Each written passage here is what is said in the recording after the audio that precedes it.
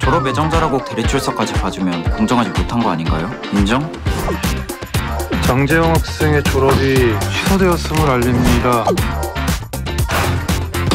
드디어 만났네, 상우야. 기대해도 좋을 거야. 대단한 사이코였네. 우리도 영화 보러 갈까?